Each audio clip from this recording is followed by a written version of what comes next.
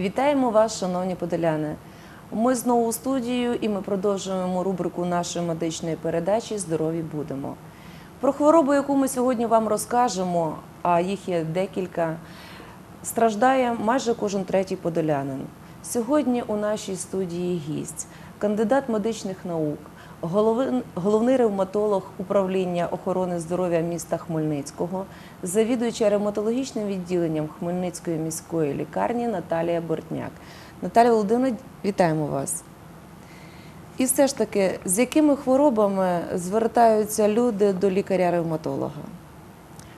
А, Спектр болезней, э, которым занимается ревматология, очень большой. Это более 140 болезней.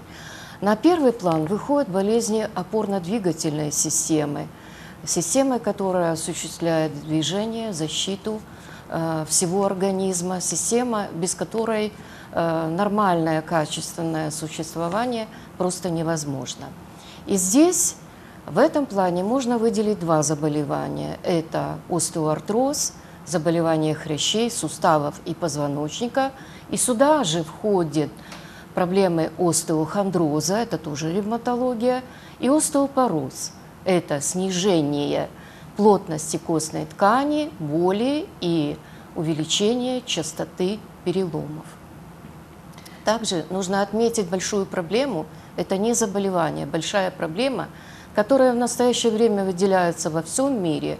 Это боль в нижней части спины. Этим занимаются ревматологи. Также, поскольку эта боль может быть обусловлена и остеоартрозом суставов позвоночников, и большей части случаев, это мое такое личное мнение, исходя из практики, осте- остеопорозом у людей пожилого возраста. Дальше патология развития позвоночника, грыжи, э, метастазы, другие заболевания и так далее. Хто входить з людей в групу ризику ревматологічних хворих? А Если говорить э, о тех заболеваниях, э, которые, э, о которых я вспомнила, то это прежде всего люди пожилого возраста. На втором месте имеет значение пол. Например, остеоартрозом болеют женщины в два раза чаще, чем мужчины. Остеопороз. Женщины на первом месте. Каждая третья женщина после 50 лет имеет остеопороз, и каждый пятый мужчина после 60 лет также имеет остеопороз. А что касается болей в нижней части спины, это люди, люди любого возраста, начиная с молодых, когда боль связана с воспалительными заболеваниями позвоночника, и заканчивая э, людьми более старшего возраста, когда это связано э, с артрозом, остеохондрозом и остеопорозом. Э, На э, следующее имеет фактор наследственности. Э, Например, при остеоартрозе, если мама болела остеоартрозом, и у нее были узелки Гебертена, утолщение фаланг пальцев кисти рук, то дочь заболеет на 10 лет раньше и более тяжелой формой остеоартроза, и в этом заключается и профилактика. Это э, различные врожденные аномалии, это способ жизни, характер работы, строитель, парикмахер, э, водитель, э, продавец. э, Они имеют больше шансов заболеть остеоартрозом. Это привычки, курение, алкоголь больше способствует развитию остеопороза, э, заболевания различные, в частности эндокринологические. И можно сказать, почти на первом э, месте это ожирение. Якщо ви не дотримуєтеся здорового способу життя, зловживаєте шкідливими звичками, мало знаходитеся на свіжому повітрі, не займаєтесь фізичним вихованням, ви вже є у групі ризику і також можете захворіти на остеопороз. Про це наш сюжет.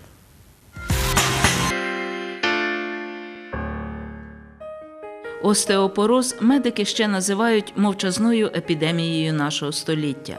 Це одна із глобальних загроз для здоров'я людей разом із серцево-судинними хворобами, онкологією та цукровим діабетом.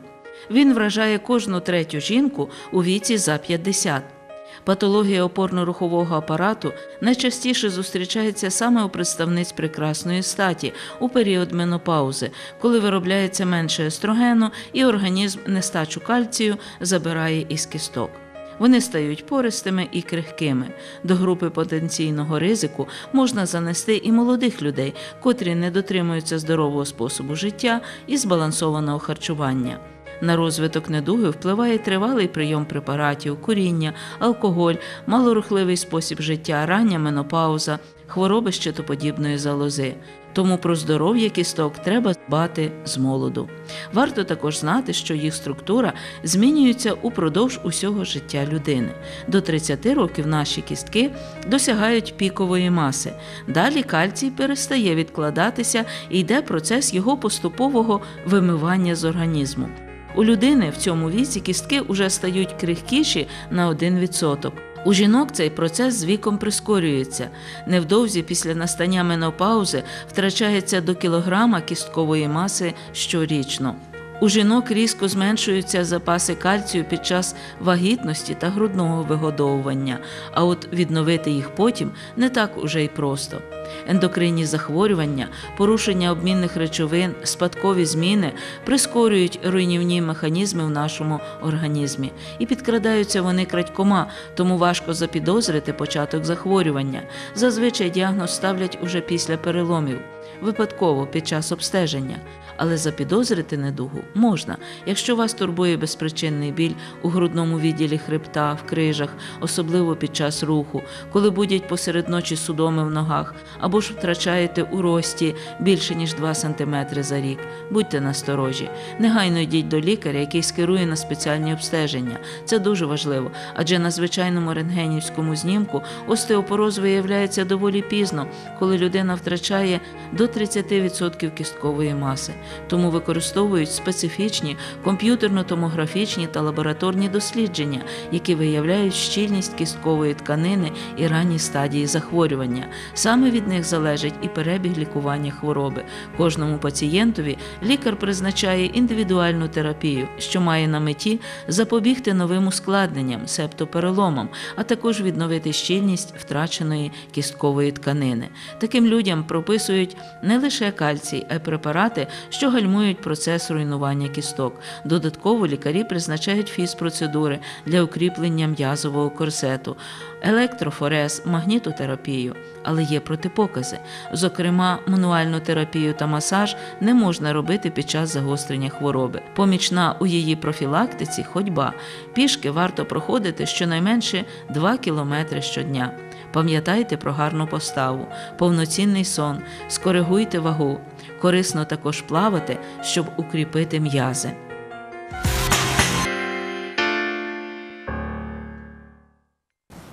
Наталя Володимирівна, все-таки які симптоми повинні насторожити людину, щоб не пізно було звернутися подальшому до лікаря?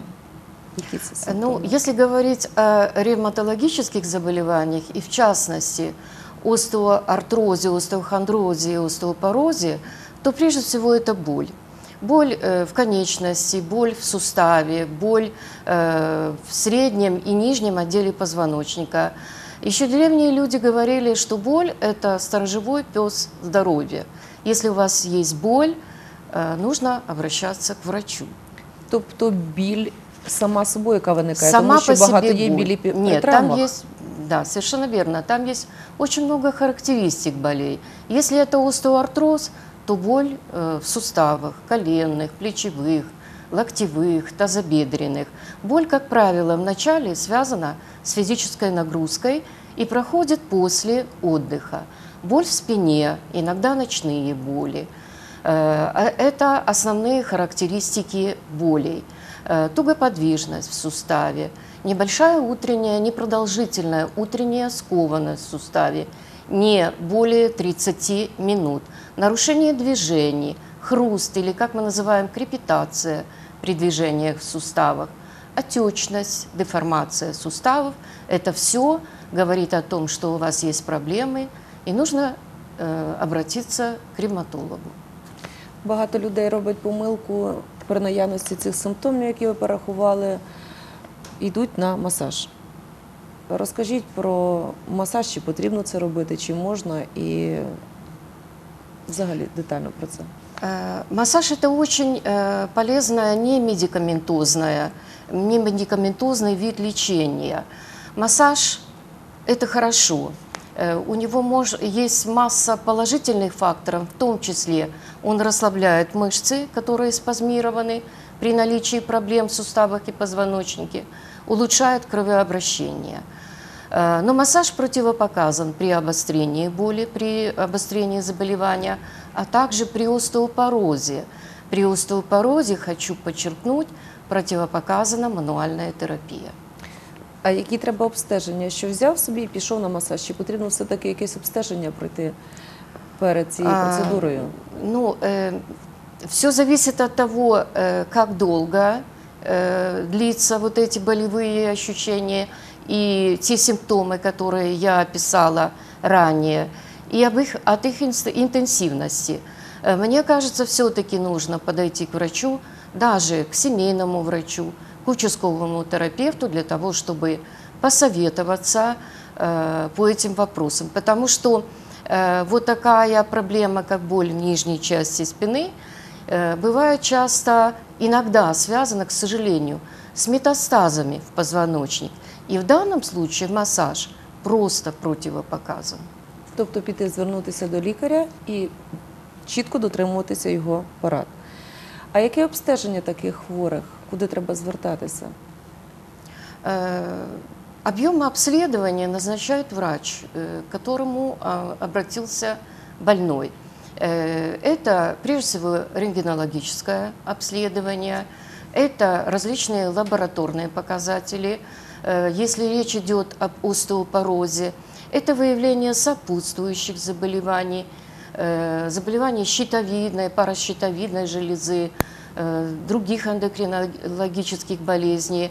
Ну и если речь идет об остеопорозе, очень современное исследование, которое помогает в диагностике, денситометрия, она бывает ультразвуковой, определяется плотность костной ткани пятки, пяточной кости, а, и э, денситометрия рентгенологическая, э, абсорбционная, э, декса, так называемая, которая позволяет определить плотность костной ткани э, в костях запястья, э, в шейке бедренной кости и в нижнем отделе позвоночника.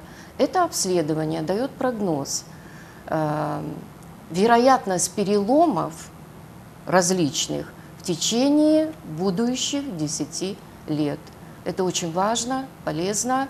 Это возможность предупредить переломы и э, уменьшить интенсивность боли, в частности в позвоночнике. А де у нас в місті можна пройти такі обстеження? Э, У нас э, есть ультразвуковое, ультразвуковая денситометрия в поликлинике номер один, насколько я знаю, и в областной больнице центр НИКа.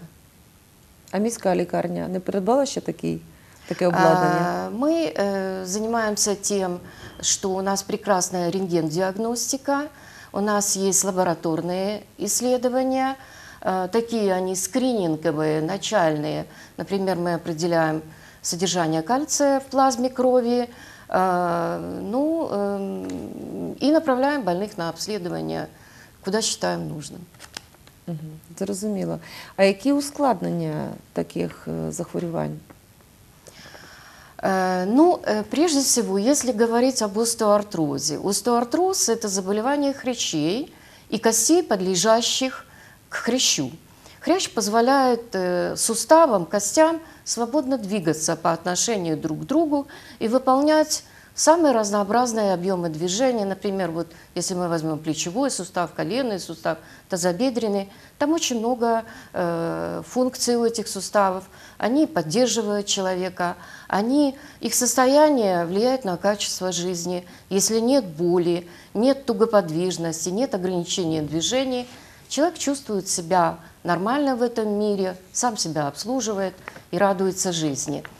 Э, Нужно сказать, что э, боль значительно ухудшает качество жизни, а если это остеопороз, то здесь идет уменьшение продолжительность жизни- продолжительности жизни и не только ее качества. Потому что, как было сказано в предыдущем сюжете, мне очень нравится это крылатое выражение, остеопороз – это немая чума нынешнего века, немая, потому что об остеопорозе узнают только после того, как человек получил перелом, когда уже потеряно, потеряно более 30% костной ткани, и чума, потому что это эпидемия. И чума, потому что смертность от остеопороза, от последствий остеопороза велика. Э, Нужно сказать, что ежеминутно во всем мире происходит 24 перелома позвонков. Каждые 5 минут перелом шейки бедра. Смертность в течение 6 месяцев после перелома шейки бедра составляет 30%. 50% людей с переломом шейки бедра теряет э, трудоспособность в течение первого года. И 30% нуждается в помощи посторонних людей. Это огромная проблема. Качество жизни страдает, и продолжительность жизни также. Продолжительность жизни после переломов уменьшается на 12-15%. Найбільша щільність кісток формується до 30 років. Після цього вміст кальцію поступово втрачається. І головним при цьому є наша їжа, те, що ми вживаємо. Про це наш сюжет.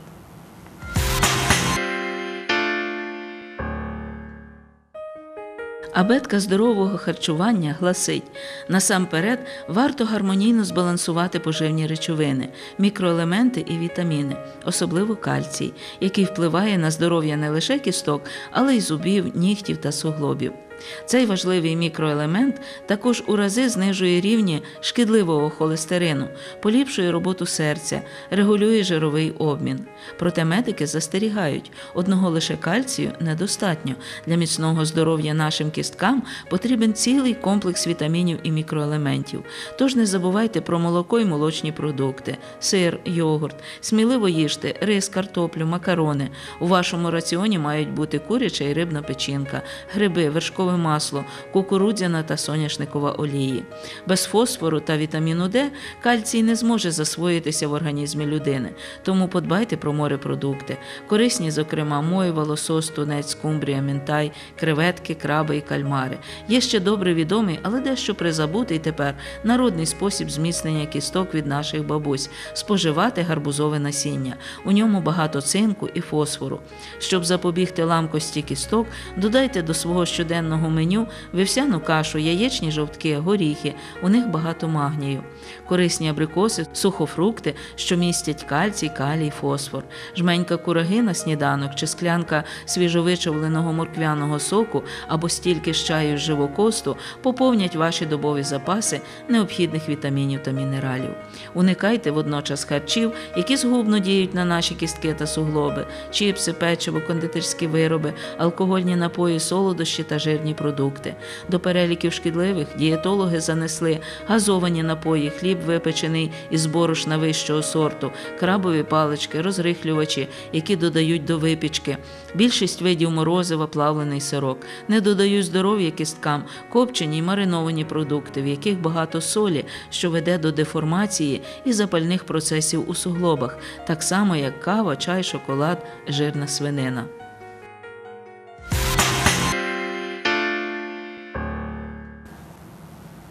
Розкажіть, яке лікування повинні отримати ці хворі, аби видужати?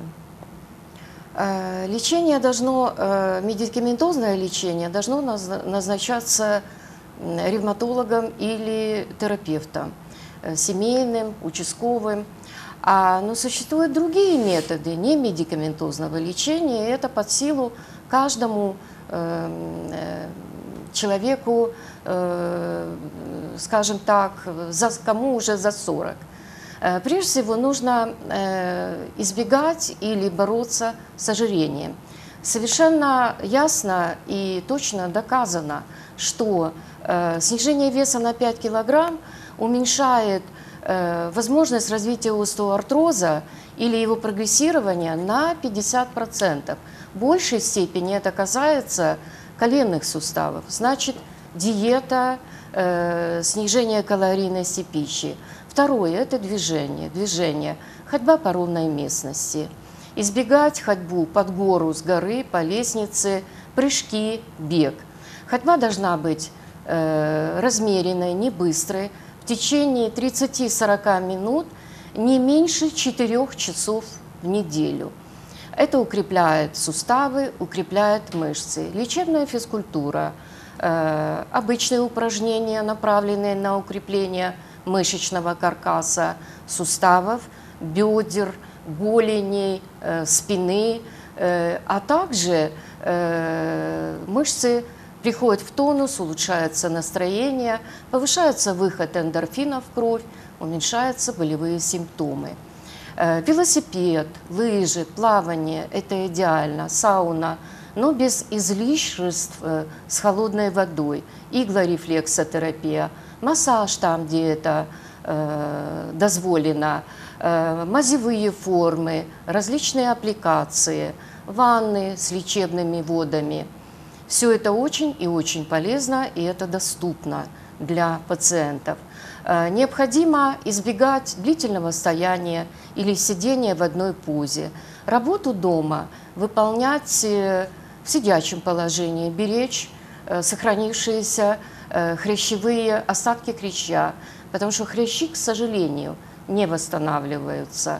Э, Очень многое зависит от человека, который свою волю и свое желание направил на то, чтобы уменьшить явление, уменьшить боль, улучшить качество и продолжительность жизни. Чи є спеціальне меню, щоб не хворіти на таку страшну недугу? Э, Это э, низкокалорийная диета, разнообразная диета. Хочу предупредить людей а, о э, том, что мнение откладывается соли неверно, это неправильно. Артроз – это поражение хряща, никаких солей там нет. Хочу предуп- э, э, предупредить, что не нужно кушать холодцы, студни. Э, Почему? Потому что они ничего не дают в плане улучшения Корыстного. хряща. Да, единственное, там они повышают уровень холестерина, и те, кто страдает подагрой, усиливают, так сказать, возможность ее обострения. Е, Чи є такий певний вік, який, в якому людина повинна профілактично відвідати лікаря, Аби попередити хворобу?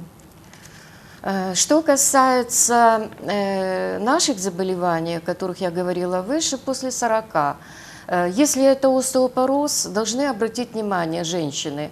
Те женщины, у которых поздно возникли менструации и они рано закончились по тем или иным причинам, э, это малоподвижный образ жизни, это наличие предыдущих э, э, годах переломов нужно очень беречься, потому что повторно переломы, вероятность переломов очень велика. Э, Соблюдать здоровый образ жизни. Хочу посоветовать людям при болях в суставах и припухлости без наличия травмы обращайтесь к ревматологам. При болях в нижней части спины и спине обращайтесь к ревматологам. Наше отделение городской больницы занимается квалифицированно диагностикой и лечением всех этих проблем. Ми вам дякуємо за розмову. Дякую. Шановні подоляни, якщо ви знайшли в себе ті чи інші проблеми зі здоров'ям, не займайтеся самолікуванням, адже попереду це залежить і ваше життя. На все добре, будьте здорові!